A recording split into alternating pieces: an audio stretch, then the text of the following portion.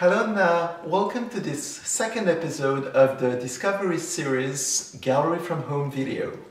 My name is Julien Flak and today I will discuss Kachina dolls. But not just about any Kachina dolls. Today I will talk about the life and work of a very important Hopi artist called Wilson Tawaquaptewa, who single-handedly disrupted the way Kachina dolls were ever created. So let's head to northeastern Arizona. Our story today starts on Third Mesa in a village called Oraibi. This is the village where Wilson Tawaquaptewa was born in 1873. We actually don't know much about the childhood of Tawaquaptewa, except that he was born in the Bear clan. In 1904, Tawaquaptewa was named Kikmongwi, or village chief of Oraibi. The first decade of the 20th century was a time of turmoil for the Hopi people. Indeed, they had crucial choices to make at the time. Should they cooperate with the American authorities or fight and resist to keep their traditional way of life?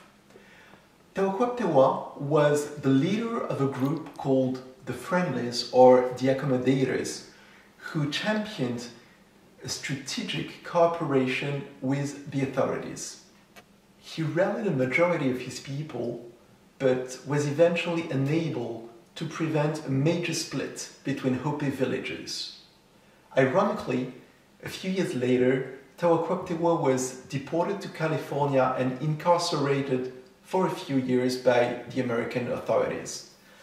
He was officially sent to school to learn how to become a better leader for his people upon his return. When he was uh, finally allowed to uh, return to Hopi land, he was a changed man. He resumed his duties as village chief and spiritual leader, but he also embarked on a very different path, that of an artist. During the 1920s, Tawaquaptewa started to carve Kachina dolls to sell them to tourists. As you well know, Kachina dolls, or Katsinam, as the ones shown here, were given to Hopi children. They were considered to be protectors and prayers for rain.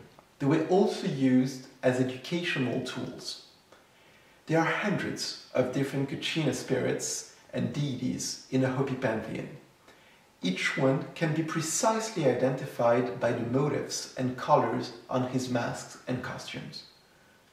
Well, Wilson Tawaquaptewa decided to take a different approach. Given his role as chief and spiritual leader, he had an intimate knowledge of Kachina symbolism. Out of respect for the spirits and in line with his responsibility as a religious figure, he decided that the dolls meant to be sold to collectors should not be the same as the one given to children. Therefore, he invented his own motifs and started making up or mixing up new symbols in his creations. It is often impossible to identify which Kachina spirit he precisely meant to depict in his works. As he didn't want to reveal any secrets, he created a new pantheon filled with humor, poetry, and colors. Tawaquaptewa never signed his dolls, but they are highly recognizable. Long ears or wings, antenna, crossed eyes are pretty common in his katsina. His trademarks include polka dots, black and white clown stripes, and unusual colors such as electric blue or a whole range of orange and ochre shades. Wilson Tawaquaptewa was an artist in the purest sense. He developed his own universe, his personal artistic vocabulary, while remaining true to his beliefs and his duties. He was the very first Hopi who dared to take a step aside from the Kachina tradition and has inspired generations of carvers since his time.